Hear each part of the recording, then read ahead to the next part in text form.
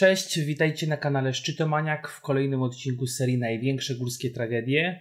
W dzisiejszym odcinku opowiem historię, o którą pytaliście mnie już kilkanaście albo nawet kilkadziesiąt razy i dotyczy ona najtragiczniejszych dni w historii K2. Letni sezon w 2008 roku na drugiej najwyższej górze świata w ciągu zaledwie kilkunastu godzin przerodził się w walkę o życie ponad 20 Himalajstów. Wiele osób te tragiczne sierpniowe dni na K2 z 2008 roku porównują do historii, która miała miejsce w 1996 roku na Everestie. Jednak niestety to, co wydarzyło się na Czogori, doprowadziło do jeszcze większej ilości osobistych tragedii. Ze względu na to, jak wiele wydarzeń miało miejsce w 2008 roku na K2, postanowiłem tą historię opowiedzieć szczegółowo, abyście mogli dokładnie poznać przyczyny i konsekwencje czasami wydawać by się mogło błahych decyzji i z tego właśnie względu jest to najdłuższy materiał w historii kanału, więc nie przedłużając zapraszam Was do poznania tej historii.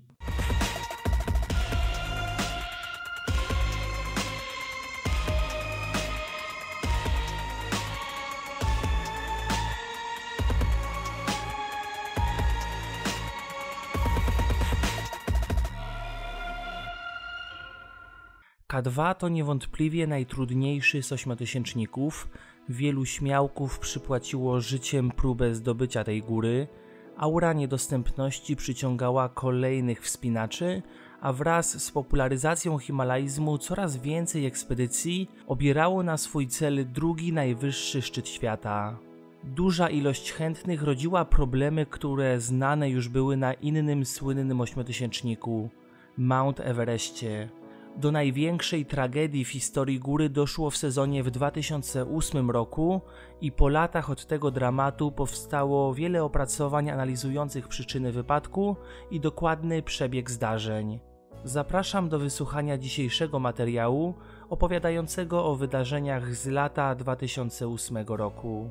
Rozdział pierwszy Himalaiści Setki tragarzy przemierzało lodowiec Baltoro, niosąc ciężkie ładunki kilku zagranicznych ekspedycji do bazy pod K2.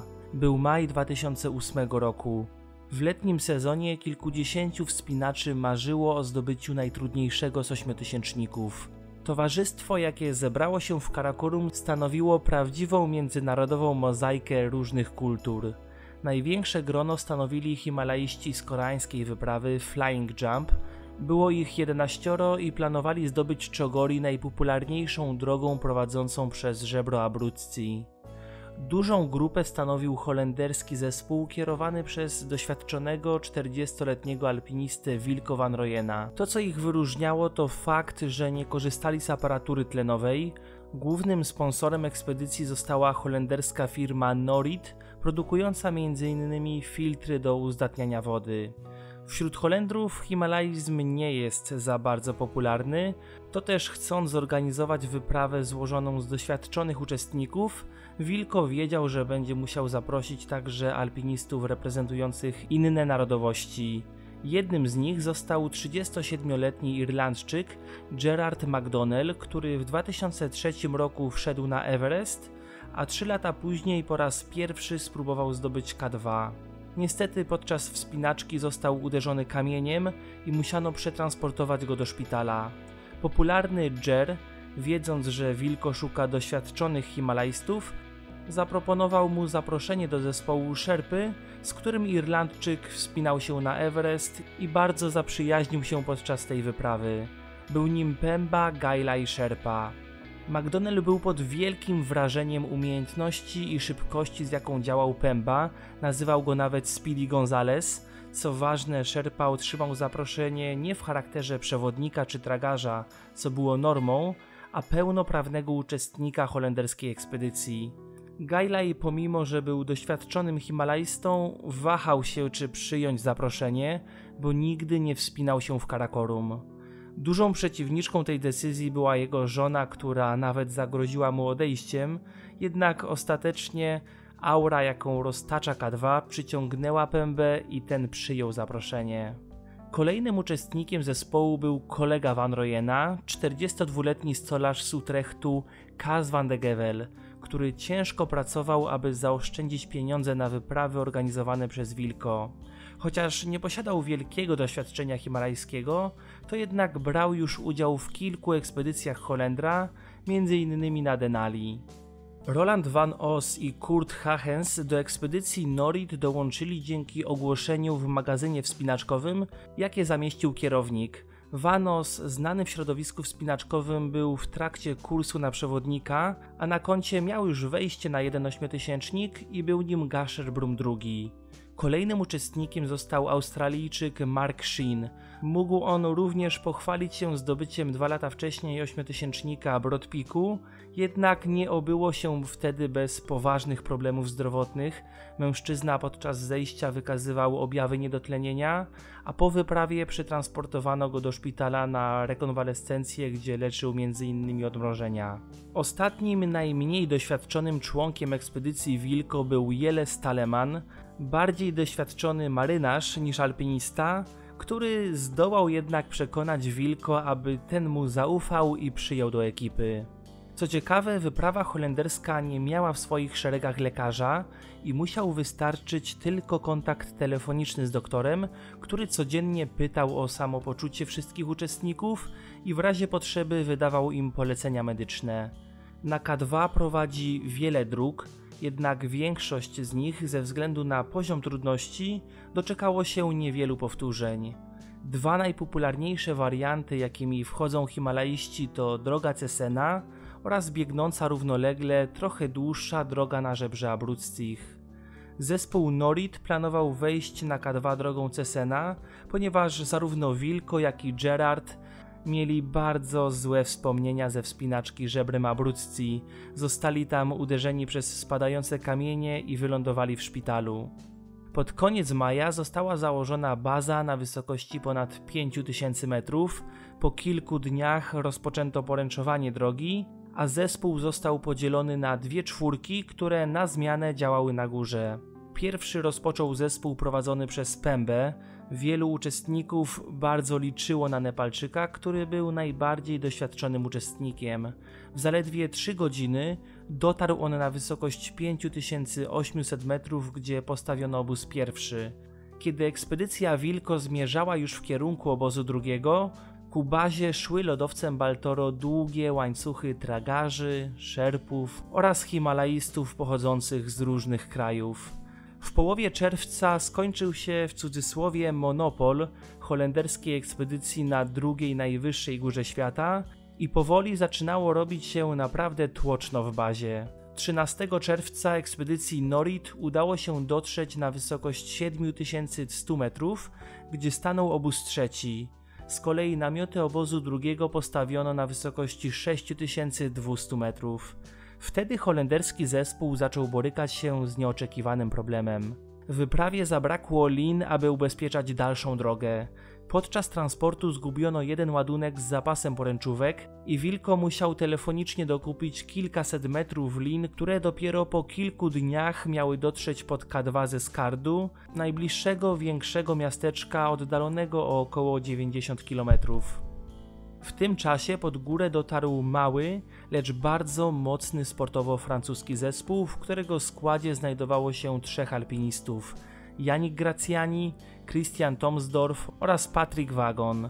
Cała trójka była przyjaciółmi, Christian i Janik od 10 lat wyjeżdżali w góry wysokie, obierając sobie nie wejścia łatwymi drogami na takie góry jak Everest czy inne ośmiotysięczniki, lecz zdecydowanie trudniejsze warianty na może i mniej znanych siedmiotysięcznych szczytach, lecz zdecydowanie bardziej wymagających.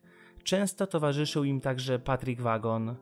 Na co dzień cała trójka wspinała się sporo w Alpach, o Janiku mogliście usłyszeć już w jednym z poprzednich materiałów, bo to on pokonał południową ścianę Annapurny wraz ze Stefanem Benoit w 2013 roku, niedługo po tym jak Ulisztek przeszedł ją samotnie.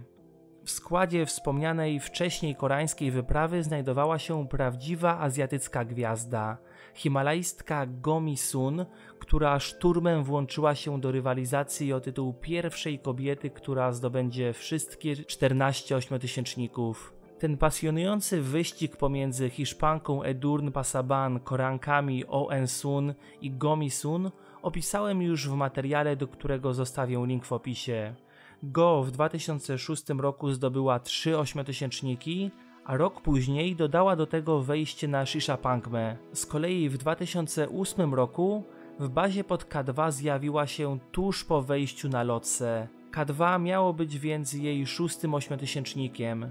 Była azjatycka mistrzyni narciarstwa w niezwykłym tempie goniła swoje rywalki w wyścigu o tytuł pierwszej kobiety na wszystkich ośmiotysięcznikach. Koreańczycy, podobnie jak Holendrzy, podzielili swój zespół na dwie grupy. Jednak ich podział był zupełnie inny. Zamiast dwóch wyrównanych zespołów, Koreańczycy postanowili stworzyć pierwszy zespół składający się z najlepszych, a drugi ze słabszych alpinistów mających dużo mniejsze szanse na wejście na szczyt. Ekspedycja koreańska nosiła enigmatyczną nazwę Flying Jump i działała w sposób oblężniczy. Azjaci zatrudnili dużą ilość tragarzy i szerpów, których zadaniem było przeniesienie wielu ton ekwipunku ekspedycji. Działali w sąsiedztwie do drogi Cesena, czyli na żebrze Abruzzich. Nepalczycy zatrudnieni przez mistera Kima, jak nazywano kierownika Flying Jump, w większości nie znali K2. Ponieważ ich doświadczenie ograniczało się do wspinaczki w Himalajach, a z powodu braku dostępu do internetu ich wiedza na temat K2 ograniczała się do opowieści starszych szerpów. Koreańczycy podobno powiedzieli uczestnikom amerykańskiej ekspedycji, że pod K2 muszą zaimponować sponsorom, zadowolić ich, a to wiąże się z tym, że górę będą chcieli zdobyć za wszelką cenę. Takie jasne deklaracje nigdy nie zwiastują niczego dobrego. Szerpowie, którzy zostali zatrudnieni przez mistera Kima, pochodzili z Nepalu i sprawdzili się wcześniej Koreańczykom, kiedy ci wspinali się na Lotse czy innych ośmiotysięcznikach w Himalajach, więc Mr. Kim postanowił zatrudnić ich także podczas wyprawy na K2, nie myśląc o tym, że oni mogą w ogóle nie znać warunków, jakie panują w Karakorum. W czerwcu pod K2 przybyła także niewielka, lecz bardzo nietuzinkowa ekspedycja norweska, gdzie 34-letnia podróżniczka i alpinistka Cecile Skok mogła wymarzyć sobie spędzenie miesiąca miodowego ze swoim mężem, kobieta zdobyła oba bieguny i koronę Ziemi, a więc wszystkie najwyższe szczyty siedmiu kontynentów. Poza Everestem zdobyła także inny ośmiotysięcznik Chooyu, a w 2008 roku wraz ze swoim mężem, również alpinistą, postanowiła spędzić miesiąc miodowy w Karakorum, zdobywając drugą najwyższą górę świata K2. Wybrankiem Cecil został 33-letni Rolf Bae, którego poznała podczas realizacji projektu Korony Ziemi. Wspinali się w różnych wyprawach na położony na Kaukazie Elbrus. Małżeństwu towarzyszyli przyjaciele Lars Nessa oraz Oystein Stangeland. Lars miał niewielkie doświadczenie wspinaczkowe, nawet sama podróż do bazy pod K2 była dla niego wielkim przeżyciem, a każde kolejne osiągnięcie miało być dla niego spełnieniem marzeń. Nie myślał o wejściu na szczyt, oczywiście jeśli dobrze by się czuł i wszystko przebiegałoby sprawnie, planował podchodzić do wyższych obozów, ale nie za wszelką cenę. Bardziej doświadczonym alpinistą był Oystein, skialpinista i wspinacz, który już w 2005 roku znalazł się pod K2. Dopiero pod koniec czerwca do bazy przybyła amerykańska ekspedycja. Na większości mieszkańców bazy zrobiła ona duże wrażenie i w kuluarowych rozmowach często typowano, że jest ona pewniakiem do zdobycia szczytu. Wyprawa wyposażona była w drogi, dobrej jakości sprzęt, a jej kierownikiem został profesor biologii Mike Ferris. Zaczynał w latach 70. od wspinaczki skalnej, a potem pojawiła się pasja do alpinizmu. Brał udział już w czterech ekspedycjach na ośmiotysięczniki i miał duże doświadczenie we wspinaczce w niższych górach. Uczestnikiem jego ekspedycji został także słynny w środowisku Chris Warner, dziewiąty Amerykanin na Everestie i kierownik wielu wypraw w góry wysokie. Trzeba podkreślić, że został także pierwszym Amerykaninem, który zdobył ośmiotysięcznik samotnie. Sławę przyniosła mu produkcja filmowa o Everestie i programy telewizyjne, w których opowiadał o górach. Z kolei zdecydowanie mniej doświadczonym uczestnikiem był Chris Klinke, były prezes dużej korporacji, który 3 lata przed przybyciem pod K2 rzucił pracę z dnia na dzień i rozpoczął spełnianie marzeń, czyli zdobycie korony Ziemi. W 2006 roku wszedł na Everest, a później zapragnął zdobywanie także innych ośmiotysięczników. Natomiast chyba jedna z najciekawszych postaci amerykańskiej ekspedycji to anestezjolog z Colorado, Eric Meyer, ultramaratończyk i triatlonista, dla którego nieustanny rozwój i ciągły trening, sprawdzanie swoich ograniczeń stanowiło sens życia. Praktykował jogę, trenował sztuki walki, a także wspinał się. W 2004 roku zdobył najwyższą górę świata. Wtedy poznał się również z szerpą Chiringiem Dorje, Obu mężczyzn połączyła pasja do sportu i przyjaźń. I to właśnie Erik zaprosił Nepalczyka do udziału w amerykańskiej ekspedycji. Chilling został pełnoprawnym członkiem wyprawy, a w bazie pod K2, gdy inni szerpowie zobaczyli, że wraz z Amerykanami wspina się Chilling, byli przekonani, że jest on najlepszym Himalajstą tej ekspedycji. Nepalczyk był naprawdę popularną osobą wśród swoich rodaków, mimo że mierzył zaledwie 1,65 m, to wspinał się szybciej od innych, był bardziej wytrzymały, a tam gdzie pozostali zdołali wziąć na plecy ładunek 20 kg, on lekko przenosił 40. W 2008 roku pod K2 zjawiła się także serbska ekspedycja z ambitnym planem wprowadzenia pierwszego przedstawiciela swojego kraju na drugą najwyższą górę świata. Jej kierownikiem został 43-letni alpinista z Nowego Sadu Milivoja Erdelian. Cały zespół złożony był z ambitnych alpinistów amatorów z dość dużym doświadczeniem. Po sukcesie narodowej ekspedycji na Everest w 2006 roku Serbowie postanowili wyruszyć na podbój Karakorum. Jeszcze w tym samym roku ekspedycja pod kierownictwem Milivoja zdobyła Gasherbrum I i II. Rok później wyprawa osiągnęła bez wsparcia aparatury tlenowej Broad Peak, natomiast w 2008 roku przyszedł czas na klejnot Karakorum K2. Himalaiści mieli świadomość, z jak wielkim wyzwaniem przyjdzie im się zmierzyć, zadbali więc o świetne przygotowanie fizyczne, zatrudniając specjalistę w tej dziedzinie.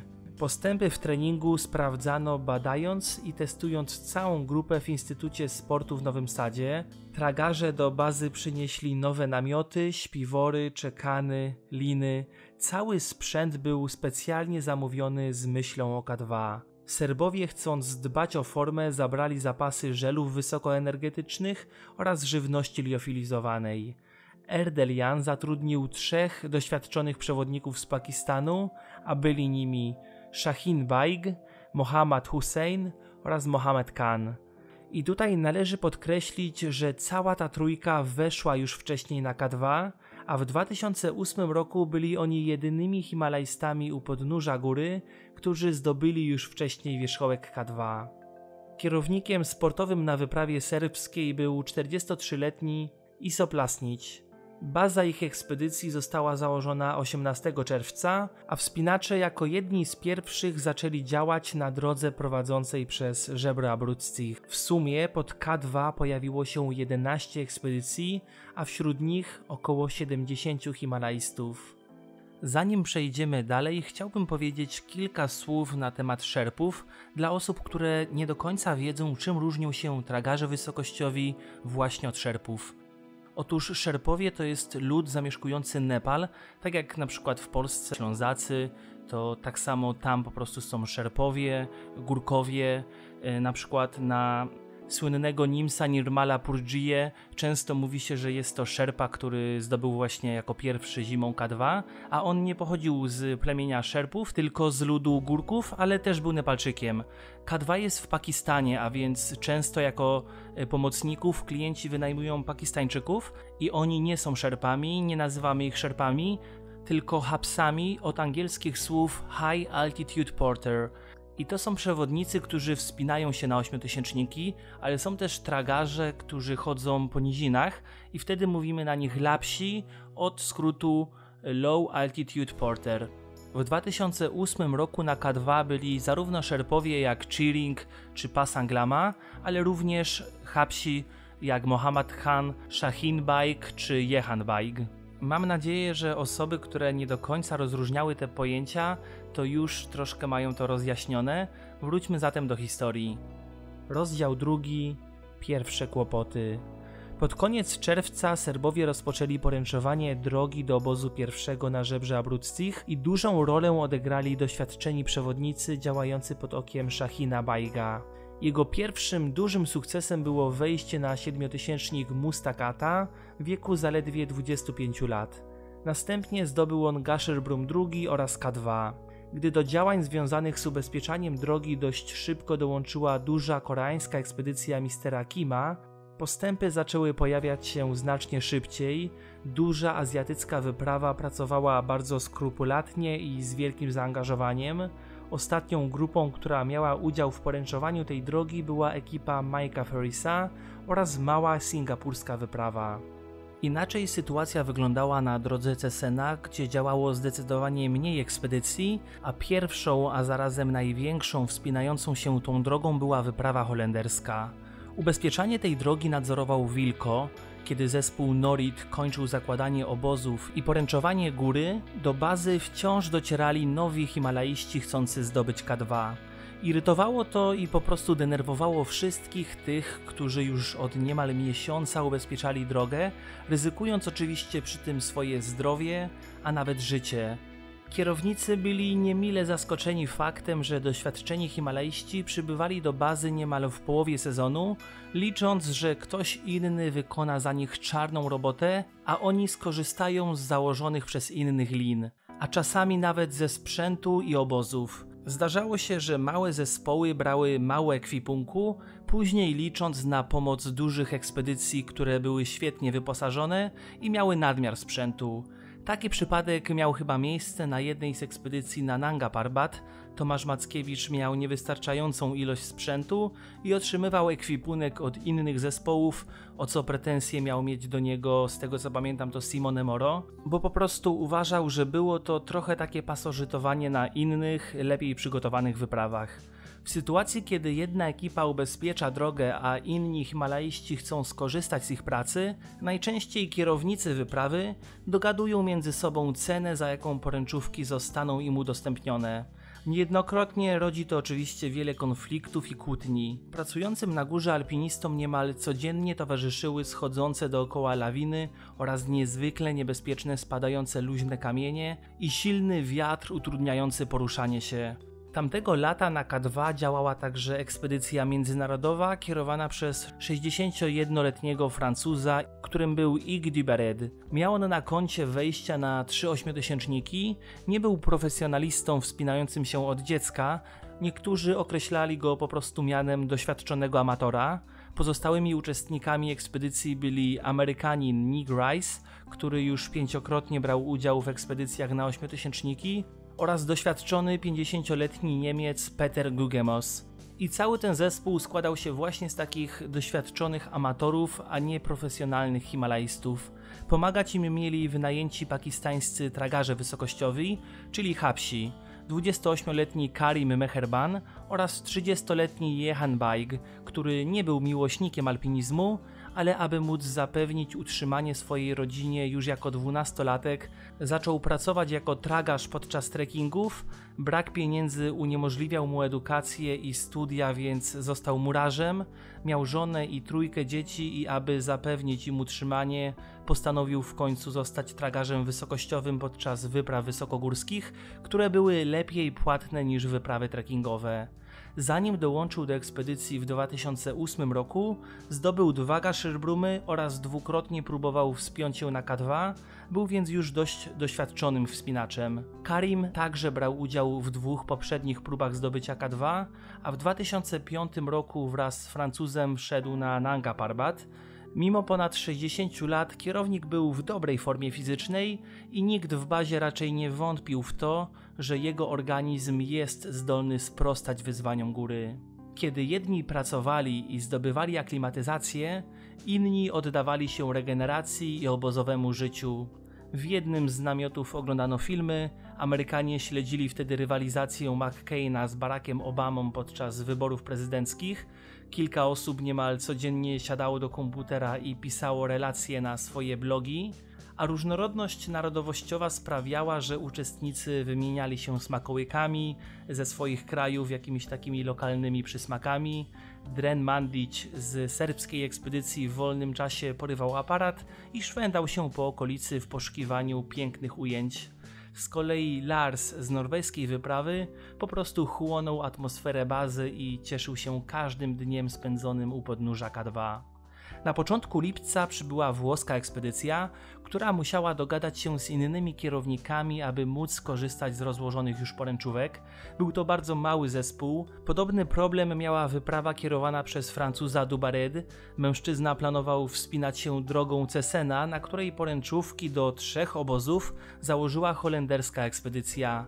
I tutaj pojawiły się kłótnie i awantury. Jedni uważali, że to nie ich wina, że do bazy dotarli później, drudzy oczekiwali zapłaty, a także pojawiły się głosy, że dobrze by było, gdyby to oni zaporęczowali ostatni fragment drogi do ramienia, skoro Holendrzy wykonali dużą część już pracy.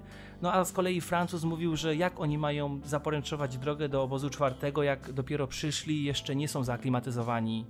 Atmosferę próbował łagodzić Gerard McDonnell, przez niektórych nazywany w obozie Jezusem.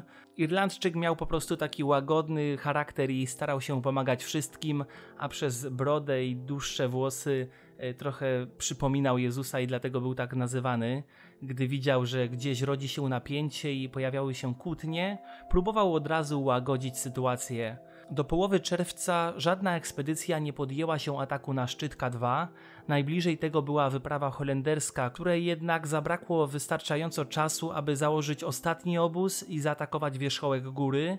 Od początku lipca pogoda zaczęła się wyraźnie pogarszać, a wszystkich martwiły intensywne opady śniegu.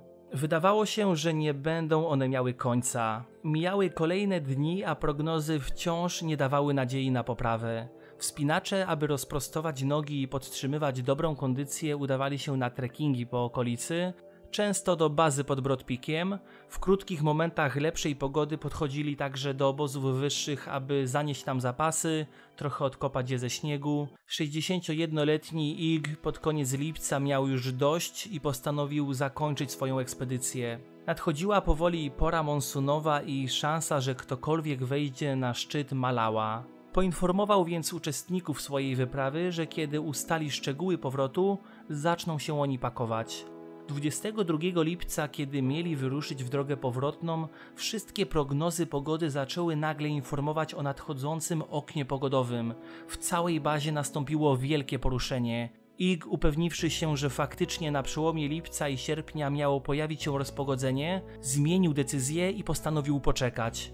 Zaczął chodzić od namiotu do namiotu, rozpytywać, czy faktycznie wszystkich prognozy są takie same, no i wszystko wskazywało, że faktycznie nadejdzie dobre okno pogodowe. Ta informacja rodziła jednak wiele problemów. Oznaczała bowiem, że wszyscy chętni do wejścia na szczyt nie będą mieli innej możliwości, jak tylko ruszyć w górę dokładnie w tym samym czasie rozpoczęły się intensywne spotkania kierowników wszystkich dużych ekspedycji i dyskusje, w jaki sposób logistycznie rozwiązać ten problem. Najmocniej w te ustalenia zaangażowali się Wilko i Mr. Kim. Koreańczykom, jak już wcześniej wspomniałem, bardzo zależało na zdobyciu K2. Z kolei holenderska ekspedycja spędziła w bazie najwięcej czasu, bo ponad dwa miesiące wykonała kolosalną pracę i zrozumiałe jest to, że także nie chcieli oni, aby ta praca ich poszła na marne. Wszystkie prognozy z 22 lipca wskazywały, że optymalną datą ataku na wierzchołek K2 jest 1 sierpnia. W górę należało wyruszyć więc kilka dni wcześniej. Przejaśnienie miało nadejść w dniach 28 lipca i trwać do 3 sierpnia. Kolejne ustalenia miały miejsce między kierownikami wypraw działających na tych samych drogach. Drogą Cesena podążały zespoły Igo, Wilko, a także tamtędy wchodził solowy alpinista serbski Joselito Bite, który nie posiadając wystarczającej ilości sprzętu i zapasów, czasami pasożytował na ekspedycji holenderskiej, co frustrowało Van Royena. Wilko od początku nalegał, aby Serb zrezygnował ze swoich prób, obawiając się, że w razie jego problemów to on będzie musiał kierować akcją ratunkową. Najbardziej newralgicznym fragmentem drogi było przejście stromego kuluaru powyżej obozu czwartego, znanego jako bottleneck, w Polsce określanego często jako szyjka butelki, szyjka od butelki lub wąskie gardło. Tuż nad nim znajdował się potężny lodowo-śnieżny serak, pod którym Himalaiści musieli przetrawersować. Nie podlegało dyskusji, że aby otworzyć drogę na szczyt, w pierwszej kolejności należało wysłać zespół Himalajstów, którzy zaporęczują drogę na wysokości około 8200-8300, a nawet 400 metrów. I musieli oni to wykonać przed nadejściem dużej grupy Himalajstów z pozostałych ekspedycji. Koreańczycy zgłosili się, aby objąć kierownictwo nad takim zespołem. W jego składzie mieli znaleźć się przedstawiciele wszystkich dużych ekspedycji chcących zdobyć szczyt.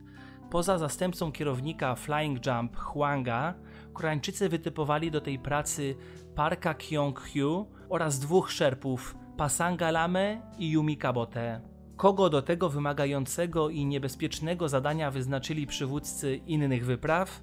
Oczywiście szerpów i tragarzy wysokogórskich. Holenderski zespół miał reprezentować Pemba Gailai, wyprawę amerykańską Chilling Dorje, który wcześniej miał zapewnienie, że jest uczestnikiem na równych uprawnieniach, no ale jeśli dochodziło do takich trudnych zadań, no to właśnie on miał je spełniać. Włosi oddelegowali do tego zadania Mohammada Alego, a największy wkład w sukces tej operacji wnieść mieli trzej członkowie serbskiej ekspedycji. Oczywiście nie Europejczycy, a Habsi, którzy znali już tę drogę. Shahin Baig, Mohamed Khan oraz jego imiennik Mohamed Hussein. Rolę prawdziwego szefa tego zespołu szybko przejął Baik, który w przeciwieństwie do Huanga posiadał dwie najważniejsze zalety. Po pierwsze, znał angielski oraz język urdu, przez co mógł swobodnie porozumiewać się z większością uczestników, a po drugie, przeszedł już szyjkę butelki i dokładnie znał tę drogę. Aby zespół miał wystarczającą ilość czasu na założenie lin, ustalono, że obóz czwarty opuści już o północy w dniu ataku szczytowego. Wszyscy, którzy dobrze znali historię tragedii z 1996 roku na Everestie, pewnie dostrzegają w tych historiach wiele analogii. Wówczas także dwie ekspedycje połączyły siły w dniu ataku na szczyt, a problemem była duża ilość chętnych do wejścia na wierzchołek oraz poręczowanie najtrudniejszych fragmentów w ostatniej chwili. Na K2 dodatkowo pojawiły się problemy komunikacyjne, o ile w bazie kwestie te rozwiązywali oficerzy łącznikowi lub tłumacze, to sytuacja komplikowała się w obozach wyższych i podczas wspinaczki. Dodatkowo podczas gorących dyskusji częściej głos zabierali kierownicy ekspedycji i zachodni wspinacze, a nie szerpowie i hapsi, którzy mieli największe doświadczenie. Nie wszyscy z nich mówili też po angielsku, a nawet jeśli znali ten język, to ulegali presji pracodawców i parcia, jakie miały wyprawy komercyjne na sukces. Ostatnim ważnym elementem, który należało zawczasu dokładnie ustalić, było to, ile metrów lin ma wziąć zespół oraz kto i jak dużo sprzętu udostępni. Poza samymi linami, niezbędne do wykonania stanowisk były śruby lodowe, haki, karabinki, Niektórzy zaoferowali wniesienie także kilku szabel śnieżnych, choć nie wszyscy dzielili się swoimi przemyśleniami, to wiele osób miało duże obawy co do realizacji założonego planu. Teoretycznie wszystko było gotowe, alpiniści zaczęli pakować swoje plecaki, niektóre ekspedycje przygotowywały butle z tlenem, inni publikowali ostatnie posty na swoim blogu przed atakiem na szczyt. Z kolei jeszcze inni składali modły prosząc o łaskawość góry. 27 lipca trzech szerpów ruszyło żebrem Abruzzi do obozu pierwszego. Po dotarciu na miejsce okazało się, że burza połamała ich namiot, postanowili więc przespać się w jednym z pustych namiotów innych ekspedycji. Następnego dnia na tej drodze kilka wypraw miało rozpocząć podchodzenie, natomiast reszta wspinała się bezpośrednio do obozu drugiego. 28 lipca na drodze Cesena pierwsi ruszyli w górę himalaiści Norit, ich celem był obóz drugi, a tuż za nimi podążali himalaiści Igo. Pemba miał tak dobre tempo, że na miejsce dotarł na długo przed zmrokiem. Ranek 29 lipca okazał się bardzo wietrzny. Podchodzenie w takich warunkach do obozu trzeciego mogło okazać się zbyt ryzykowne, więc Koreańczycy i Serbowie na żebrze Abruzzi postanowili połączyć się z Wilko na drodze Cesena i ustalić, że lepiej będzie zmienić plan i przeczekać jeden dzień w obozie drugim. Holender zgodził się, jednak zespół Igo ruszył w górę. Ranek 30 lipca przywrócił nadzieję w sercach alpinistów. Wiatr ucichł, a świecące słońce zachęcało do wspinaczki. Niestety wysokość dała o sobie znać Szachinowi, który zaczął mieć mdłości i bóle brzucha. Kierownik serbskiej ekspedycji nie zlekceważył tych objawów i nakazał mu zejście do bazy. Jednak Pakistańczyk, mając świadomość, jak ważną rolę pełni, chciał jeszcze chwilę poczekać, wierząc, że z czasem objawy ustąpią. Jego partnerzy rozpoczęli wyjście do obozu trzeciego. Shahina obejrzał lekarz z amerykańskiej ekspedycji Eric Mayer. Podejrzewał on zatrucie pokarmowe i podał leki. Niestety, z każdą kolejną godziną stan mężczyzny był coraz gorszy. Męczyły go drgawki, kaszel i ból żołądka. Został sam w namiocie, wierząc, że wyzdrowieje i dołączy następnego dnia do partnerów. Chwilę później w obozie odwiedził go baskijski alpinista Alberto Cerain, który wspinał się samotnie żebrem Abruzzi. Hiszpan należał do jednych z najlepszych himalaistów, którzy znajdowali się wtedy pod K2. 46-latek miał już na koncie wejścia na kilka ośmiotysięczników, a w Alpach i Andach działał już od lat 80. Pod K2 miał ograniczony budżet, więc nie mógł sobie pozwolić na opłaty za możliwość korzystania z poręczówek zakładanych przez inne ekspedycje. Zaoferował więc coś innego, jednak równie wartościowego. Swoją pomoc przy przenoszeniu ładunków i poręczowaniu dalszej drogi. W zamian za korzystanie z pracy innych ekspedycji, Hiszpan przenosił ich butle z tlenem i wykonywał normalną pracę szerpów. Tragarze byli pod wrażeniem, jak silnym i wytrzymałym mężczyzną był Alberto. Shahin Baik miał świadomość, jak wielką rolę miał odegrać w ataku na szczyt. Był on wręcz kluczową postacią w kwestii prawidłowego skoordynowania działań przy poręczowaniu trudnych odcinków. Kiedy Pakistańczyk zobaczył zaglądającą do namiotu twarz Cerajna, ucieszył się. Hiszpan od razu spostrzegł, że z jego kolegą jest bardzo źle. Widział, jak jego ciałem targały konwulsje i przeszywały je dreszcze. Bajk powiedział: Alberto, może nie zabieraj namiotu, tylko weź rzeczy, które niosłem dla wyprawy serbskiej. Bardzo mi w ten sposób pomożesz. Ja muszę zejść, jestem chory. Hiszpan oczywiście zgodził się pomóc, ale przez to, że nie uczestniczył we wszystkich spotkaniach w bazie, na których ustalano szczegóły ataku na szczyt, to nie wiedział, jak wielką rolę miał odegrać Shahin. Prośbę odebrał jedynie jako przeniesienie sprzętu w górę za chorego Bajga. Niedługo później Pakistańczyk ponownie został sam w obozie drugim. Pogodził się z decyzją, że dla niego ekspedycja już się skończyła. Rankiem następnego dnia chciał rozpocząć zejście do bazy. Alberto wspinał się świetnym tempem i jako pierwszy dotarł do obozu trzeciego na wysokości 7350 metrów. Później zaczęli nadchodzić szerpowie, którzy zamiast odpocząć, postanowili zajmować się ekwipunkiem swoich klientów, a niedługo później ruszyli dalej do obozu czwartego.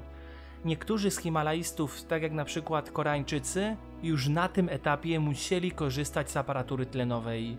Gdy nadszedł zmrok, wszystkie ekspedycje zaczęły przygotowywać się do trudów czekających ich następnego dnia. Jednak nie wszyscy mogli położyć się spać. Prawdziwy dramat odgrywał się w obozie drugim.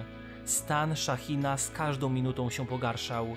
Mężczyzna skręcał się z bólu, a gdy zaczął odkrztuszać różowej barwy pijane, zdał sobie sprawę, że jego stan jest już bardzo zły. Był to wyraźny symptom obrzęku płuc. Jeśli szybko nie otrzyma pomocy, zostanie na górze na zawsze. Bajk chwycił więc za radio i połączył się z bazą. Okazało się, że na dole nie ma żadnego z jego wyprawowych partnerów, a radiotelefon odebrał Nadir, ich kucharz, który był także przyjacielem Bajga. Słabym, łamiącym się głosem Pakistańczyk powiedział, że ma problemy i nie jest w stanie zejść, a nikt nie może mu pomóc, bo wszyscy już są w drodze na szczyt. W rozmowie poprosił, że jeśli stanie się najgorsze, to żeby jego ciało zostawić na górze. Po chwili ciszy usłyszał przez radio głos kucharza. Już po ciebie idę.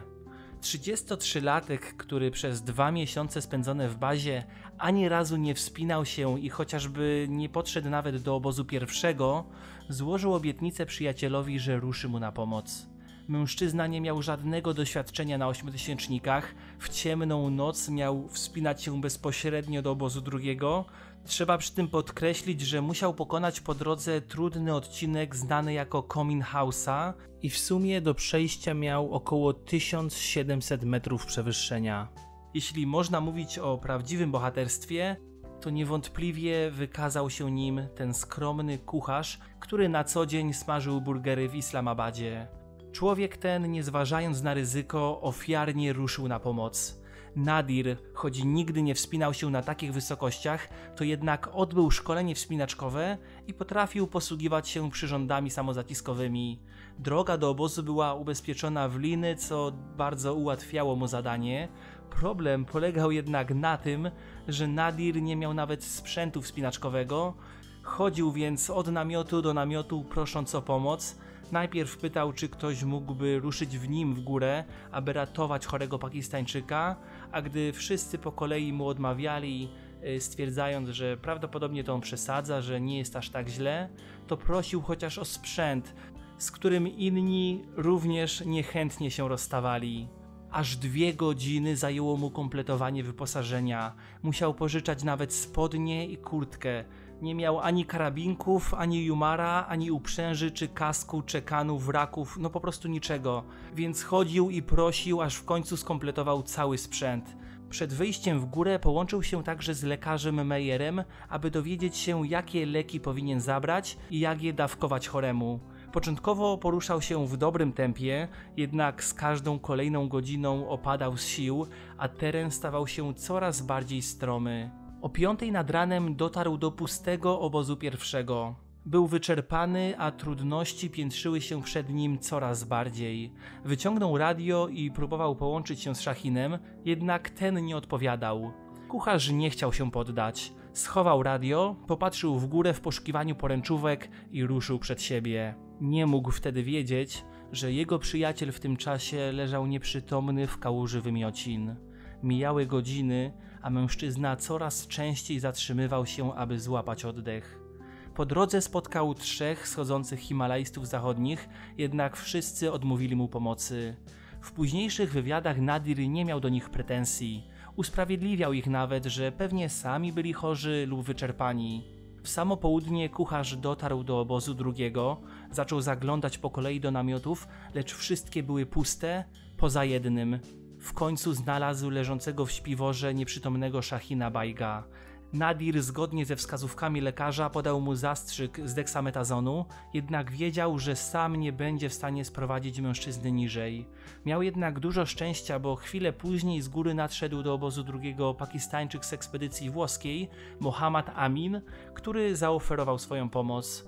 Półprzytomnego Bajga wpięto w poręczówki i rozpoczęto mozolne, trudne zejście. Kilkukrotnie Pakistańczyk mdlał, wtedy ratownicy cucili go i podawali mu jedzenie i herbatę. Aby zejście się powiodło, musiał on być przytomny i sam stawiać kroki, bo nie dało się na tej wysokości go ciągnąć czy trzymać i sprowadzać niżej. Późną nocą udało się dotrzeć bezpiecznie do bazy i po konsultacji z lekarzem okazało się, że niezbędny jest jak najszybszy transport do szpitala, bo stan Bajga jest bardzo zły. Jednak w Karakorum nie wszystko jest takie proste, jak mogłoby się wydawać.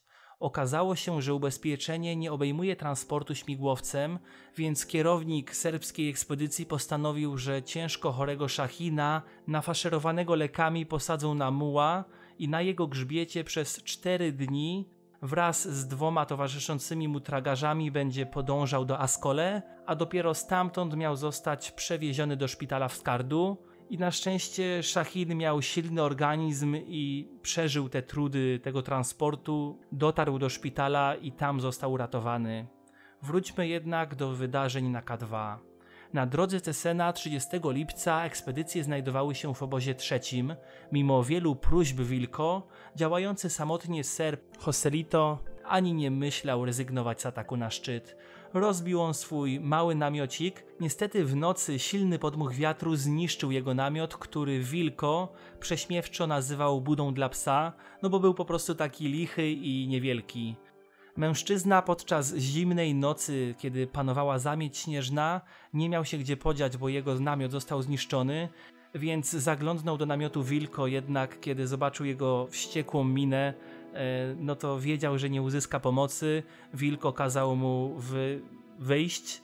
Joselito udał się do drugiego namiotu, gdzie leżało trzech mężczyzn, Gerard, Pemba i Jele, również z ekspedycji holenderskiej, jednak oni już okazali więcej serca, no i go przyjęli, chociaż był to namiot na dwie osoby, a oni tam siedzieli w czterech, więc nie było szans, żeby zasnąć i praktycznie musieli całą noc spędzić na siedząco. 31 lipca po trudnej nocy Joselito w końcu zdecydował się zrezygnować z ataku na szczyt.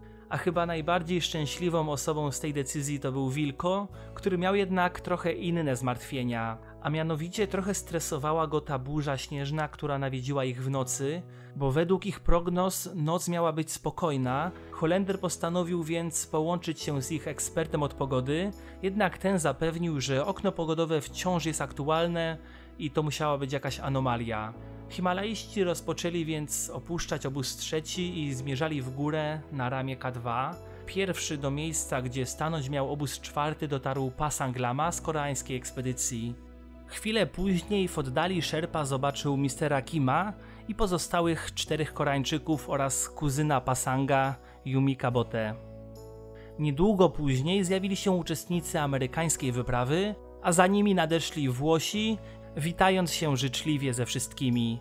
Podczas rozbijania namiotów Koreańczycy odkryli, że nie zabrano butli z tlenem z obozu trzeciego, co oznaczało, że Pasang i Yumik musieli tego samego dnia wykonać dodatkowy kurs do obozu trzeciego, a następnie od razu powrócić na wysokość niemal 8000 metrów. Fredrik wyciągnął kamerę, by uwiecznić ten historyczny moment. Nagrał wtedy widok na oddalony o kilkaset metrów potężny serak. Kamera uchwyciła Erika, który mówi: Wyszło słońce, nie było wiatru. Widok na Karakorum był nieprawdopodobny. Wszyscy się cieszyli, że dotarli do obozu czwartego, ale też oczekiwali na to, co miało nastąpić. Czuliśmy się szczęściarzami. Byliśmy w nieprawdopodobnie pięknym miejscu, niezwykłym i niegościnnym. Do obozu przybywały kolejne ekspedycje, m.in. serbska z zapasem butli z tlenem dla swoich członków, na ramię dotarli także Himalaiści podążający drogą Cesena. W pierwszej kolejności był to zespół złożony z Igo, Nika i dwóch tragarzy wysokościowych, którzy noc spędzili biwakując trochę powyżej obozu trzeciego. Dopiero około godziny 17 do obozu czwartego zaczęli nadchodzić uczestnicy holenderskiego zespołu Norit. Obie te drogi na szczyt łączyły się właśnie w obozie czwartym. Ponad 30 Himalajstów planowało 1 sierpnia wyruszyć w kierunku szczytu, a kilkunastu innych znajdowało się w obozie niższym, planując wejść na K2 dzień później. Rozdział trzeci Atak na szczyt. 1 sierpnia Wybiła północ, kiedy zgodnie z planem Pemba opuścił swój namiot, chcąc dołączyć do grupy, która miała zaporęczować drogę w kierunku szczytu. Jednak ku jego zaskoczeniu w całym obozie panowała cisza. Nigdzie nie słychać było przygotowującego się do wyjścia zespołu.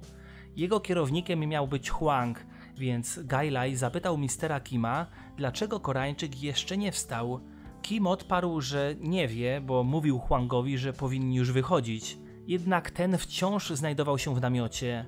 Po chwili do pęby dołączył Mohammad Hussein, uczestnik serbskiej ekspedycji, który powiadomił wszystkich o nieobecności Shahina. W tym czasie z namiotu wyszedł w końcu kierownik zespołu linowego, Huang.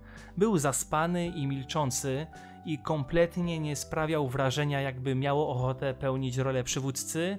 Pemba wspominał później, że Koreańczyk nic nie mówił, a z powodu nieobecności charyzmatycznego i doświadczonego Bajga, grupa praktycznie pozbawiona była kierownika.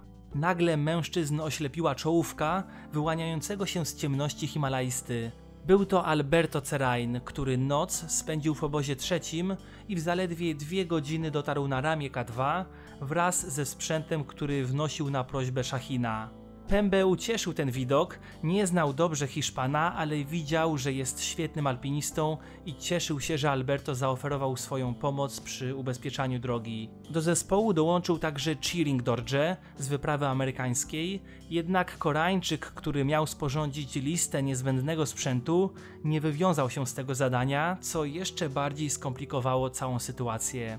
Niedługo po północy zebrał się dziesięcioosobowy zespół i ruszył w górę w celu zaporęczowania drogi. Prowadził Mohammad Hussein, który cztery lata wcześniej zdobył szczyt i znał już tę drogę. Początkowo tempo wspinaczki było naprawdę dobre, jednak po około godzinie śnieg stawał się coraz głębszy i torowanie spowalniało grupę. 90 minut później Mohammad zatrzymał się, zdjął plecak i rozpoczął poręczowanie. Nikt z zespołu nie kwestionował wyboru tego miejsca. Hussein był doświadczony i znał górę, posiadał więc autorytet niezbędny do kierowania zespołem. Jedyną osobą zaskoczoną rozpoczęciem poręczowania tak nisko był Alberto Cerain. Mohammad zakładał liny w terenie, który Hiszpan uważał za prosty. Pomyślał, że być może tragarze mają tak dużo ekwipunku, że postanowili odciążyć się, zakładając poręczówki już na tym etapie. W tym samym czasie obóz czwarty powoli budził się do życia. Coraz więcej uczestników ruszyło w górę, wierząc, że szyjka butelki jest już ubezpieczona przez ustalony wcześniej zespół. O godzinie 2.30 w górę wyszedł Wilko wraz z czteroma uczestnikami jego ekspedycji, a także Koreańczycy pod kierownictwem mistera Kima. Trzech Serbów ruszyło chwilę później, wierząc, że są w tak dobrej formie i że będą na tyle szybcy, że dogonią pozostałych, a chcąc uniknąć stania w oczekiwaniu na założenie lin, postanowili wyruszyć z małym opóźnieniem. Włosi także mieli wtedy ruszyć w górę, jednak Roberto powiedział, że wyjdzie później, więc Marco opuścił namiot sam. Zespół 61-letniego Francuza planował wyruszyć jeszcze przed drugą, jednak problemy zdrowotne miał jeden z hapsów, Jehan Baig. Kierownik ponaglał go nieświadomy, że jego pracownik odczuwał już objawy choroby wysokościowej trawiącej jego organizm. Samo zakładanie raków zajęło mu pół godziny. Mężczyzna zażył aspirynę i diamox, co na chwilę mu pomogło. Jednak przez te opóźnienia wyruszyli oni dopiero o godzinie 2.30. Podczas gotowania wody na herbatę wrzątek na swoje skarpety wylał Nick Rice i obiecał kierownikowi dołączyć do nich później. Tuż przed godziną trzecią obóz opuścił mały zespół norweski Cecil i Rolf oraz ich przyjaciel Lars. W tym czasie wciąż ciężko pracował zespół torujący drogę. Dopiero o godzinie czwartej nad ranem pierwsi jego członkowie dotarli do podnóża szyjki butelki. Duża ilość świeżego śniegu była nie tylko problemem podczas poruszania się, ale także podczas mocowania lin. Utrudniał on mocowanie w odpowiednich miejscach śrub lodowych. Pemba i Alberto znajdowali się na czele zespołu. Hiszpan pierwszy ruszył pewnie w górę. O jego niezwykłej sile może świadczyć fakt, że jako jedyny wspinaczkę rozpoczął nie z obozu czwartego, a z obozu trzeciego, a mimo to wciąż był pełen energii i działał bez zawahania. Kiedy zapręczowano cały odcinek szyjki butelki, przed Himalajstami pozostało jeszcze jedno miejsce do ubezpieczenia. Trawers pod Serakiem wyprowadzający Himalajstów w kierunku śnieżnej kopuły szczytowej. Gdy poręczujący zespół znalazł się blisko Pemby i Alberto, usłyszeli prośbę o wniesienie lin do ubezpieczenia trawersu. Wszystkie oczy skierowały się na Mohammada Aliego z włoskiej ekspedycji, jednak on powiedział, że nie ma żadnych lin. Yumik Bote zgłosił, że on wciąż ma ustalone w bazie 100 metrów poręczówek, jednak wszystkich zaskoczyło to, że Ali nie ma żadnych lin, bo w bazie ustalono, że on też ma wnosić ze sobą około 100 metrów liny. Pojawił się duży problem, bo oznaczało to, że zabrakło 100 metrów liny, aby zabezpieczyć wymagający odcinek drogi. Postanowiono więc zejść niżej, odciąć liny i wnieść je do góry. W tym czasie coraz więcej Himalajstów zaczęło zbliżać się do grupy poręczującej drogę, a to niewątpliwie zwiastowało utrudnienia, korki i duże problemy. Dopiero po godzinie 5 obóz opuścili Meyer i Strang, członkowie amerykańskiej ekspedycji wraz z Włochem Roberto Mani byli ostatnimi, którzy tego dnia ruszyli w kierunku szczytu. Ich również zaskoczył fakt, że poręczówki zostały zawieszone tak nisko, a po przejściu kilkuset metrów zaczęli poważnie zastanawiać się, czy jednak nie zrezygnować ze swojego wejścia. Przerażał ich widok rzędu ludzi stłoczonych w niebezpiecznym miejscu, przerażał ich widok rzędu ludzi stłoczonych w najniebezpieczniejszym odcinku, jaki mieli do pokonania. Cała trójka, zanim dotarła pod wąskie gardło, postanowiła zrezygnować i z wielkim rozczarowaniem w sercu wrócić do obozu. Wygrał rozsądek. Z kolei Alberto Cerain ubezpieczył górny odcinek trawersu, który według niego był najtrudniejszy. Odnalazł także starą poręczówkę, która była w dobrym stanie, więc postanowił ją wykorzystać. Po założeniu ostatniej liny wszedł na śnieżną grań, z której widać było już szczyt K2. W oddali poniżej znajdowała się gigantyczna kolejka, na końcu której znalazł się Frederick i Eric Meyer. Wszyscy alpiniści stojący w kolejce znajdowali się za bardzo wolno przesuwającymi się Koreańczykami.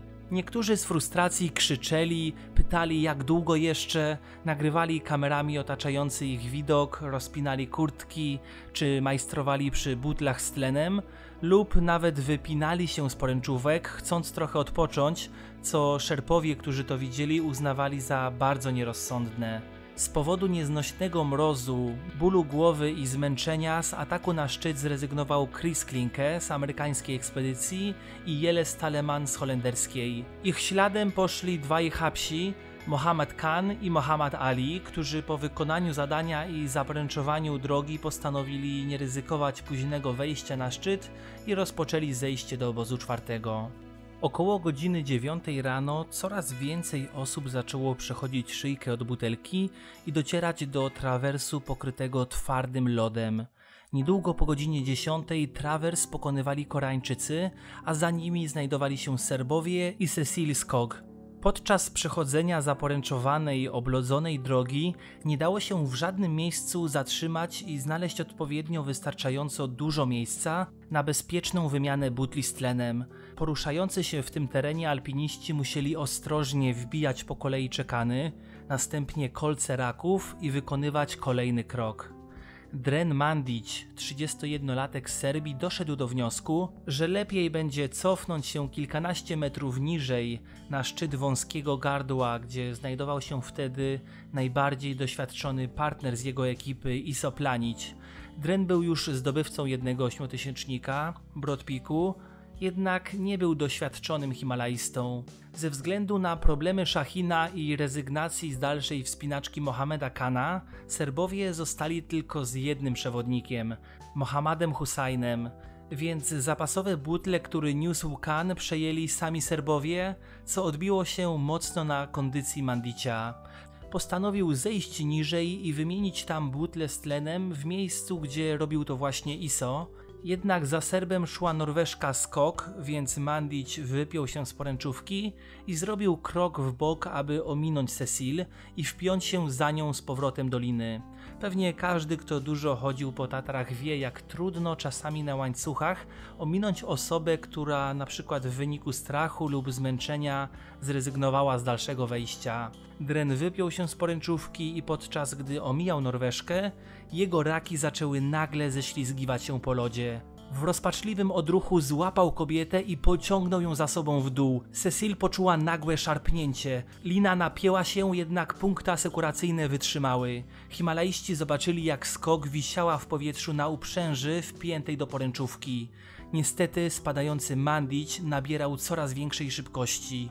Kilkanaście osób znajdujących się w kolejce widziało, jak koło ich głowy spada 31-latek. Serb obijał się o skały i zatrzymał poniżej kuluaru. Był dobrze widoczny na śniegu ze względu na jego czarno-czerwony kombinezon. Po chwili Mandić wstał i pomachał w kierunku Himalajstów, lecz chwilę później ponownie runął na śnieg i zaczął się zsuwać, nabierając prędkości na lodzie. Po około 200-300 metrach uderzył w skały i zatrzymał się, nie dając żadnych znaków życia. Niektórzy zauważyli, że chyba poruszył nogą. Wszyscy Himalaiści, widząc to zdarzenie, byli w szoku. Natychmiast zareagowali pozostali członkowie serbskiej wyprawy, którzy kazali innym rozsunąć się i zaczęli zjeżdżać po linach w dół kuluaru, spiesząc na ratunek Drenowi. Iso i Predrag oraz ich przewodnik Mohammad wciąż wierzyli, że uda im się pomóc koledze. Według niektórych opisów do wypadku doszło, gdy Dren schodząc niżej zaoferował pomoc Cecil w schowaniu jej liny do plecaka. Całe wydarzenie obserwowali Himalaiści znajdujący się w obozie czwartym. Eric Meyer powiedział Fredrikowi, że Dren się rusza i trzeba mu pomóc. Po konsultacji z bazą dwóch członków amerykańskiej ekspedycji ruszyło na ratunek. Eric wiedział, że jego wiedza jest niezbędna, więc został trochę dłużej w namiocie i zabrał swoją apteczkę, a następnie ruszył w ślad za Fredrikiem wyposażonym w radiotelefon i butle z tlenem. Ponad tą dramatyczną akcją ratunkową wciąż trwał atak na szczyt K2. Zaledwie po chwili od upadku Serba, wszyscy jak gdyby nigdy nic wrócili do wspinaczki. Dla nikogo nie był to znak, aby się wycofać. Nikt nie odebrał tego wypadku jako ostrzeżenie. Wszyscy poza Serbami wciąż padli w górę. Nawet Cecil Skok uznała, że takie wypadki się zdarzają i nie zrezygnowała z kontynuowania wejścia. Ci, którzy optowali za odwrotem, to część szerpów i hapsów, jednak ich głos nie był decydujący. Himalaiści mający więcej siły blokowani byli przez słabszych Koreańczyków wspinających się powoli. Ci, którzy nie korzystali z butli z tlenem, musieli czekać aż inni znajdujący się przed nimi wymienią swoje butle i będą mogli kontynuować wspinaczkę. Ta różnorodna grupa Himalajstów działających w zupełnie inny sposób blokowała siebie nawzajem, a brak możliwości swobodnej komunikacji uniemożliwiał łatwe podejmowanie decyzji. W tym gronie znajdowała się tylko jedna osoba nieświadoma tych nawarstwiających się problemów. Był nią Hiszpan Alberto Cerain, który po zaporęczowaniu drogi chwilę czekał, ale w końcu ruszył samotnie na szczyt K2 we własnym, szybkim tempie. Przed godziną 11 do Mandicia jako pierwszy dotarł Zagorac. Mężczyzna był nieprzytomny, miał złamany nos, a na jego twarzy widać było poważne obrażenia. Predrag rozpoczął wtedy resuscytację krążeniowo-oddechową, a po kilku minutach przybył Mohamed i Iso oraz chwilę później z dołu nadszedł Fredrik. Jeszcze dość spory kawałek za nim znajdował się lekarz Erik. Niestety Serbowi nie dało się już pomóc. 31-letni Dren Mandic został pierwszą ofiarą tego tragicznego sezonu na K2. Po konsultacji z kierownikiem ekspedycji podjęto dwie kluczowe decyzje. Pierwsza to natychmiastowe zakończenie ekspedycji, druga z kolei była decyzją, która później wywołała wielkie kontrowersje ustalono, że należy podjąć próbę sprowadzenia ciała Drena do bazy. Frederick próbował odwieść ich od tego pomysłu, gdyż wiedział, że sprowadzanie ciała niżej, na wysokości ponad 8000 metrów, wymaga kilkunastu osób, a nawet wtedy nie jest to bezpieczne zadanie. A ich była przecież tylko czwórka i wszyscy byli już wycieńczeni. Strang nie chciał zostawić Serbów samych, więc zgodził się im pomóc. Pakistańczyk Jehan Baik, który jeszcze zanim opuścił obóz czwarty już skarżył się na problemy zdrowotne, po dotarciu na szczyt szyjki od butelki ani nie myślał wspinać się dalej. Ustalił z francuskim kierownikiem Igo, że jeśli wniesie zapasowe butle z tlenem do tego miejsca, to dostanie wolną rękę co do dalszych działań. Jehan cierpiał na potworny ból głowy, wyczerpanie i objawy choroby wysokościowej i jedyne o czym marzył to jak najszybsze zejście do namiotu. Kiedy wykonał swoje zadanie, rozpoczął zejście, a przepuszczający go Himalaiści byli zaskoczeni jak powolne ruchy miał Pakistańczyk i jak niepewnie się porusza. Z jego ekspedycji na szczyt zmierzał już tylko kierownik i drugi z Habsów, Karim Meherban.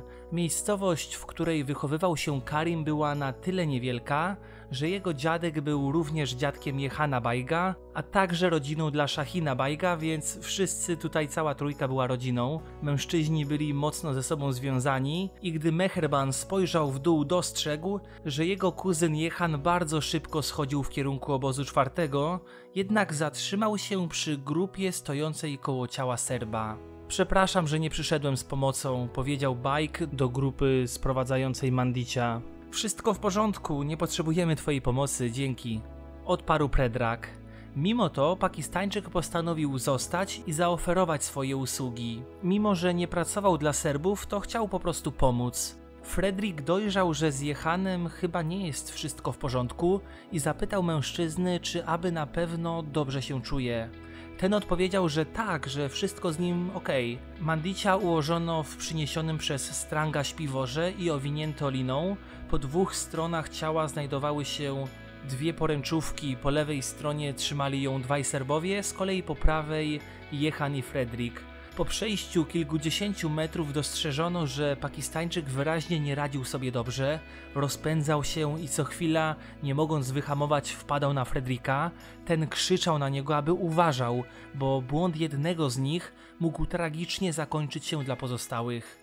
W pewnym momencie Strang poczuł mocne uderzenie w plecy i runął na śnieg a na jego plecach leżał Pakistańczyk. Fredrik odwrócił się i zobaczył, że Jehan leżał obok niego na plecach. Krzyknął więc do tragarza, żeby wstawał, jednak ten kompletnie nie reagował, a nagle zaczął powoli zsuwać się po śniegu.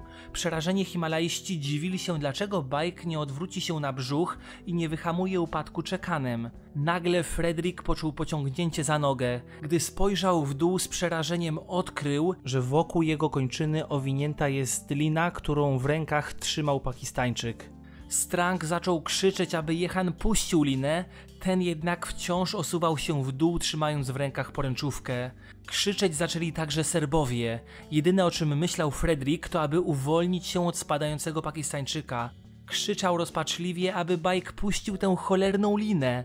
Nagle poręczówka stała się luźna. Pakistańczyk wypuścił ją z rąk i na siedząco suwał się coraz niżej. Po drodze gubił sprzęt, plecak, rękawice, butle z tlenem. Wszyscy będący w jego pobliżu z przerażeniem obserwowali to zdarzenie, krzycząc do Pakistańczyka, żeby czekanem wyhamował lot. Kiedy nachylenie zbocza stawało się coraz łagodniejsze, stopy bajka zahaczyły o skałę i odwróciły go na brzuch. Zmieniło to tor jego upadku i Pakistańczyk zsuwał się w kierunku krawędzi, za którą znajdowała się przepaść. Nagle zniknął wszystkim z oczu.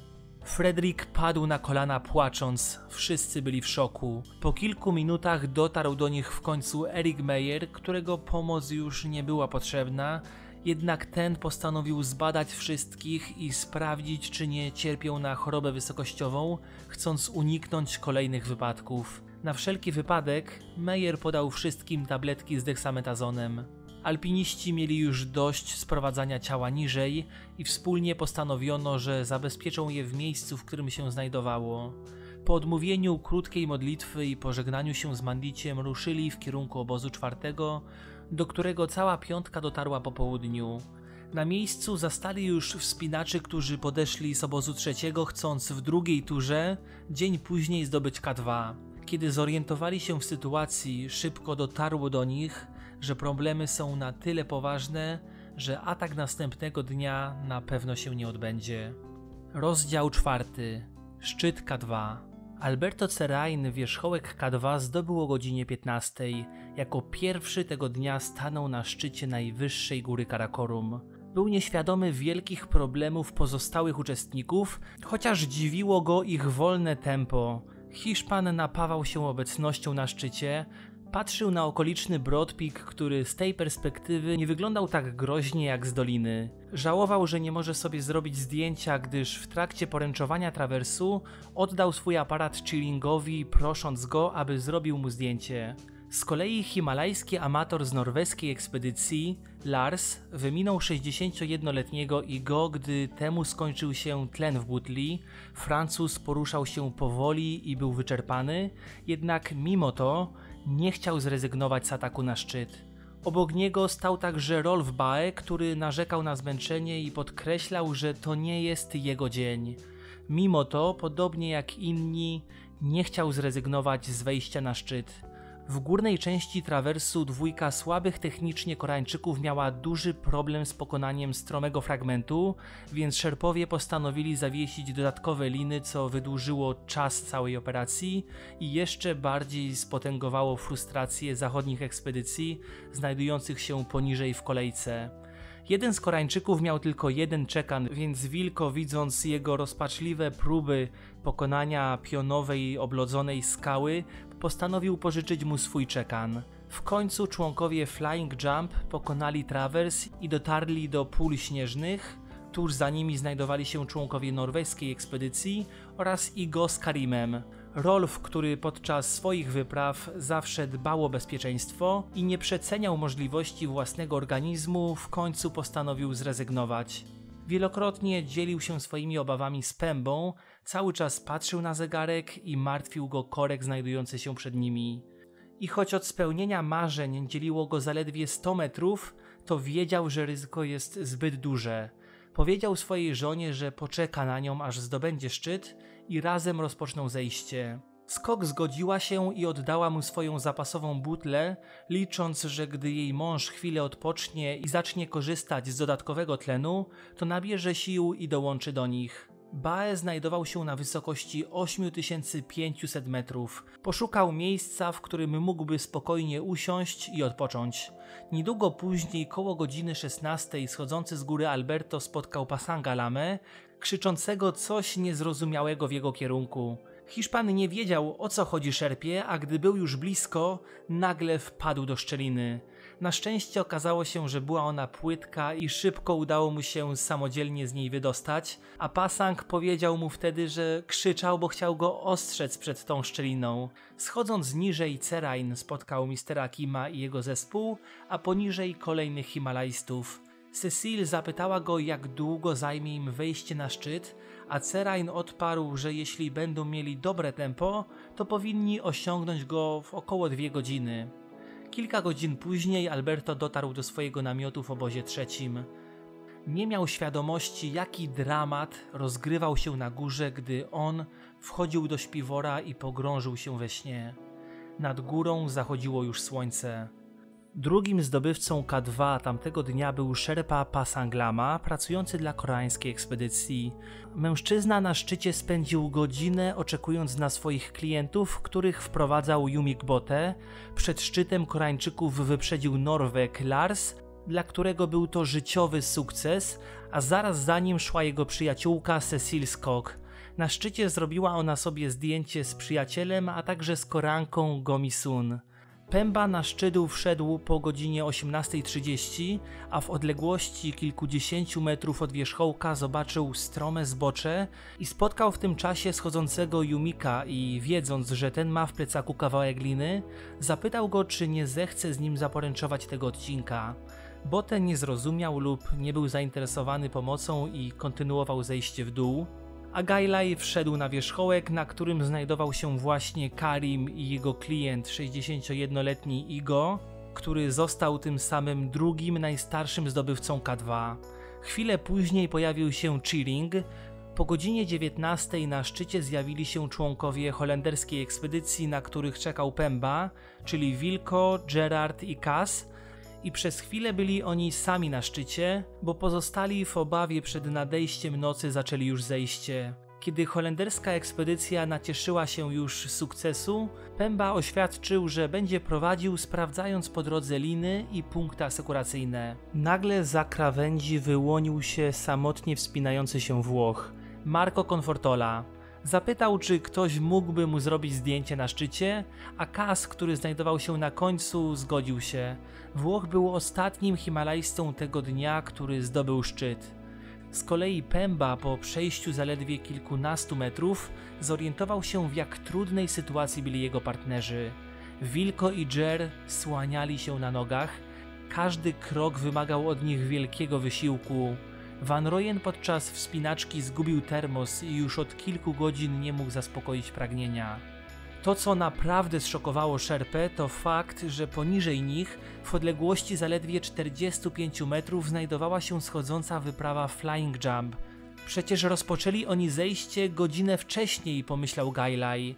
Wtedy przypomniał sobie o tym trudnym lodowym stoku, który chciał zabezpieczyć z Yumikiem i kiedy dotarł do tego miejsca, okazało się, że owszem, Bote zaporęczował drogę wraz z Pasangiem, jednak gdy tylko grupa Mistera Kima przeszła ten fragment, to szerpowie ściągnęli i zabrali linę z oblodzonego stoku, ponad którym wciąż znajdowało się kilku alpinistów. Wilko i jego zespół, Francuz Igo i Włoch Marco, pokonywali ten fragment bardzo powoli.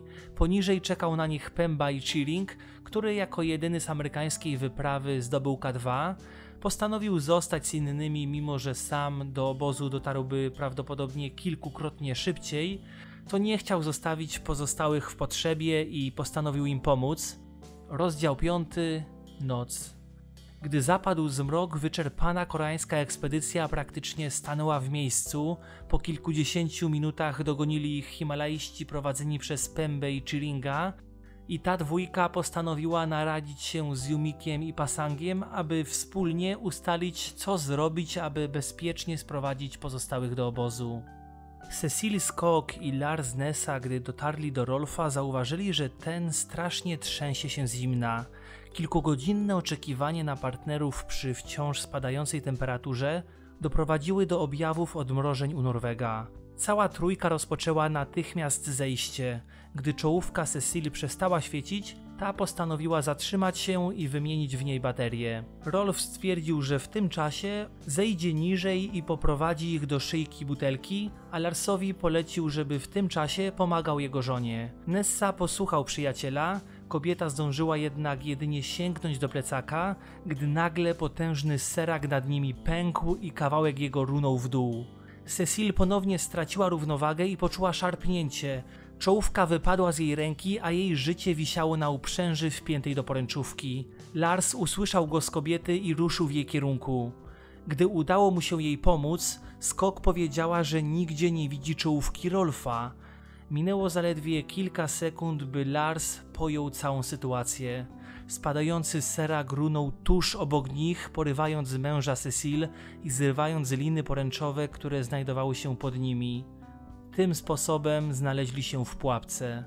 Lawina zerwała nie tylko ubezpieczenia na trawersie, ale co gorsza, wszystkie poręczówki zawieszone w kuluarze znanym jako wąskie gardło. Na szczęście Lars miał w plecaku zapasowe kilkadziesiąt metrów liny, jednak wystarczyły one zaledwie na pokonanie trawersu i krótkiego odcinka na szyjce butelki.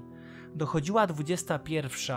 Z każdą godziną temperatura spadała, a wyczerpani wspinacze z coraz większym trudem zmuszali się do wysiłku i ruchu. Kiedy lina się skończyła, Lars postanowił prowadzić, a gdy znajdował oparcie dla stóp, wołał Cecil i instruował ją, gdzie powinna szukać chwytów i gdzie znajdują się bezpieczne stopnie. Dzięki jego pomocy wydawać by się mogło najmniej doświadczonego himalajsty zespołu norweskiego, oboje bezpiecznie dotarli późną nocą do namiotów obozu czwartego. Jednak kobiecie pomagał nie tylko Lars. Jak sama powiedziała, usłyszałam głos, Wiem, że to brzmi jak szaleństwo. Słyszałam jego głos, mówił do mnie bardzo wyraźnie: Musisz zejść, masz dojść do poręczówek i zejść na dół. Kiedy dotarliśmy do poręczówek, znów go usłyszałam.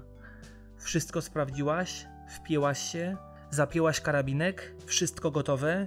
Cały czas kontrolował, czy wszystko robię dobrze. Zrobiłaś to?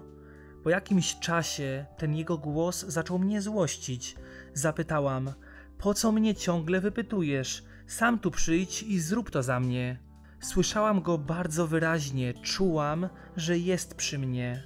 Gdyby ktoś opowiedział mi podobną historię, nie uwierzyłabym albo uznałabym, że mam do czynienia z wariatem, ale Rolf naprawdę tam ze mną był. Czterej szerpowie ustalili, że jedynym sposobem, w jaki mogą bezpiecznie odnaleźć drogę do trawersu, tak aby nikt po drodze się nie zgubił, to związanie się ze wszystkimi liną. Widząc, że część Himalajstów rozchodzi się w różnych kierunkach, ryzykując poślizgnięcie i upadek, a inni siadali na śniegu i nie chcieli schodzić, takie rozwiązanie wydawało się najrozsądniejsze. Teren znajdujący się między nimi a poręczówkami nie był stromy, więc ryzyko, że ktoś odpadnie od zbocza i pociągnie za sobą resztę, nie powinno być duże.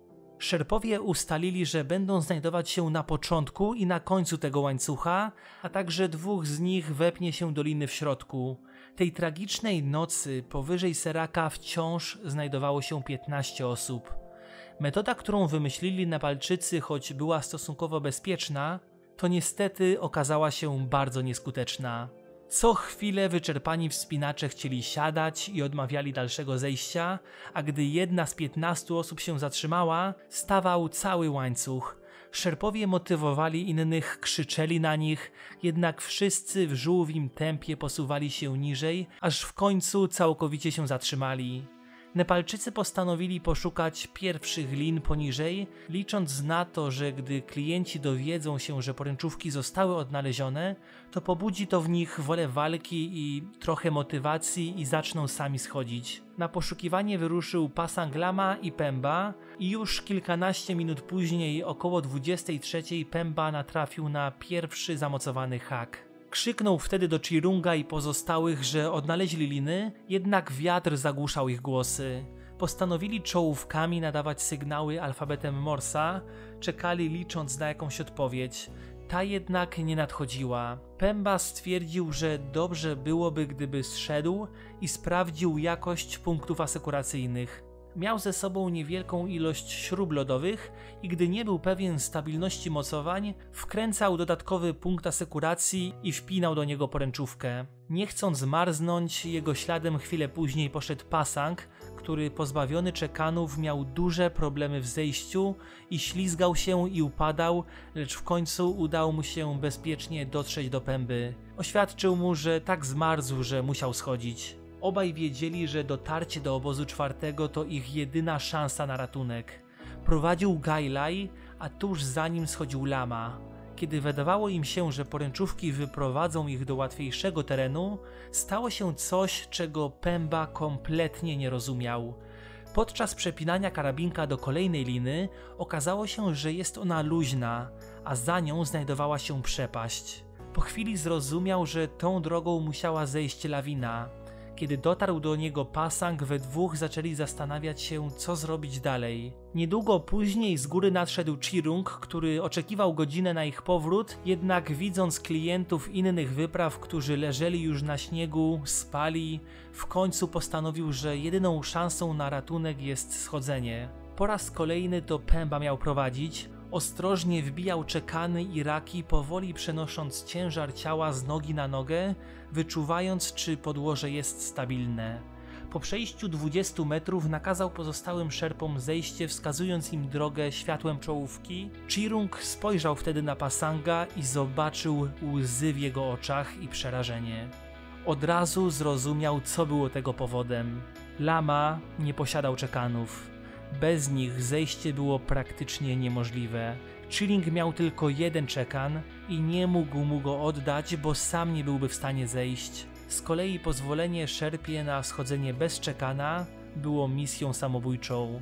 Chilling widząc strach w oczach kolegi powiedział mu, że zejdą razem. Obiecał wtedy sobie, że nie zostawi Pasanga samego. Jeśli przeżyjemy, to razem. Jeśli zginiemy, to też razem, powiedział koledze i spiął ich uprzęże kawałkiem liny. Zejście rozpoczął Chilling, starał się odnajdywać jak najpewniejsze stopnie, po czym wbijał czekan. Gdy czuł, że łącząca ich lina napinała się, w dół zaczął schodzić pasang, który postanowił zdjąć rękawice i gołymi palcami łapał śnieg i wbijał palce w skały, próbując trzymać się ich jak najmocniej. Od każdego ich kroku zależało życie lub śmierć. Pasang czuł, że lada chwila nadejdzie koniec. Ich sytuacja była beznadziejna. Wyczerpanie utrudniało koncentrację, Nepalczyk ze strachu nie był w stanie patrzeć w dół. Nagle mężczyźni usłyszeli potężny huk nad sobą i z góry nadleciała potężna bryła lodu, która wytrąciła z równowagi Chiringa. Pasang spojrzał na partnera, który spadając wymachiwał rękami, próbując wyhamować upadek. Nie minęła nawet sekunda, kiedy lama podzielił los kolegi i szarpnięcie w dół pociągnęło także jego. W trakcie lotu uderzali o oblodzone skały.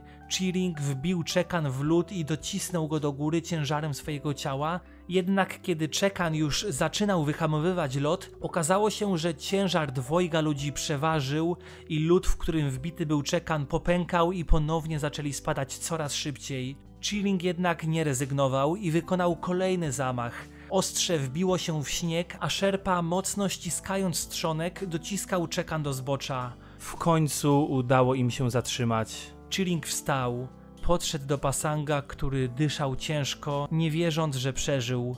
Po chwili zdali sobie sprawę, że znajdują się już na wypłaszczeniu, przeszli, a w dużej mierze przelecieli cały kuluar zwany szyjką butelki.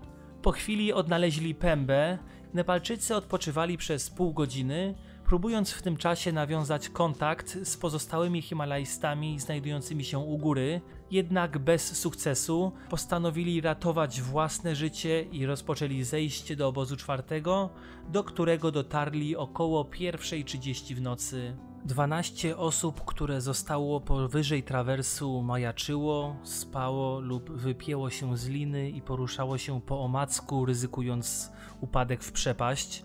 Choroba wysokościowa wyniszczała ich organizmy i uniemożliwiała racjonalne podejmowanie decyzji. Pierwsi z tej grupy w kierunku ubezpieczonego fragmentu trawersu ruszył Mr. Kim i pani Go. Marco poprosił Gerarda, aby wraz z nim poczekał do świtu, a Irlandczyk zgodził się i mężczyźni zaczęli wykopywać w śniegu takie dwie platformy i na jednej z nich usiedli, a na drugiej oparli nogi i chcieli tam przeczekać noc. Niedaleko nich znajdował się również Wilko. Z kolei Karim, próbując się ratować, ruszył na poszukiwania poręczówek, jednak nieświadomie zamiast w dół pod serak, zaczął poruszać się w bok, wchodząc na niego. W dobrą stronę schodzili Koreańczycy oraz Kas z Igo, którzy mimo wyczerpania dotarli do początku trawersu około północy. Po chwili 61-letni Francuz zaproponował, aby Holender go wyprzedził, bo widział, że ma on po prostu zdecydowanie szybsze tempo. Kas zgodził się i wypiął się na moment z poręczówki, obszedł ostrożnie Francuza i wpiął karabinek do liny przed nim. Schodził wyraźnie szybciej i już po kilku minutach nie widział za sobą nawet światła czołówki Francuza. Holender samotnie dotarł do miejsca, gdzie lawina zerwała poręczówki. Kas znalazł tam zamontowaną przez Norwega linę, a gdy ta się skończyła, niewiele się zastanawiając, zaczął zejście podobnie jak Pemba, używając na zmianę czekanów i wbijając raki. W trakcie tego zejścia nagle usłyszał skrzypienie raków o lód i zauważył spadające obok ciało. Igo nie krzyczał, nie wołał o pomoc. Francuz w całkowitej ciszy spadł w ciemną otchłań. Prawdopodobnie mógł zasnąć lub stracił przytomność. 61-letni Igo Dubaret został czwartą śmiertelną ofiarą sezonu na K2 w 2008 roku. Był środek nocy, kiedy na górze wciąż znajdowało się 10 Himalajstów, którzy nie spali od ponad 24 godzin. Przez cały ten czas poddani byli intensywnemu wysiłkowi. Tlen w ich butlach już dawno się skończył i nie mieli nic do jedzenia ani do picia. O północy w górę na ratunek wyruszyło dwóch szerpów koreańskiej wyprawy. Atak drugiego zespołu został odwołany, więc Pasang Bote i Tsering Bote wyruszyli we dwójkę, aby ratować Koreańczyków, a także Yumika Bote, który był bratem Tseringa i kuzynem Pasanga. Mężczyźni bardzo się o niego martwili. To wszystko na dzisiaj. Drugą część materiału usłyszycie w przyszłą niedzielę. A jeśli materiał Wam się spodobał, to będę wdzięczny za zostawienie łapki w górę. I jeśli zobaczę, że jest dużo osób, których zainteresował ten materiał, to postaram się trochę dłużej pozarywać nocki i przygotować ten materiał jeszcze w tygodniu i wtedy jak go skończę, to od razu go opublikuję. Kiedy to będzie, to dam znać Wam na Facebooku Szczytomaniacy oraz na Instagramie tak żebyście wiedzieli, kiedy ten materiał się pojawi. Źródłami, z których korzystałem podczas opracowywania tej historii, były trzy książki. Pochowani w niebie z wydawnictwa Marginesy, y, Góra Morderca y, z wydawnictwa Świat Książki oraz Bez Powrotu z wydawnictwa Czarne. Y, zostawiłem tą książkę w aucie i nie mam jej przy sobie. Pokażę Wam ją za tydzień. A także korzystałem z informacji z blogów uczestników wydarzeń oraz z relacji kierowników, które spisali już po powrocie z Karakorum, a także z artykułów medialnych i do tego wszystkiego zostawię Wam linki w opisie. To wszystko na dzisiaj, a ostatnio pojawiało się sporo komentarzy, żebym pokazał kota, także kot jest cały i zdrowy, e, cały czas sobie mieszka ze mną, także e, wszystko z nim w porządku. E, do zobaczenia na szlaku i w kolejnym materiale. Cześć!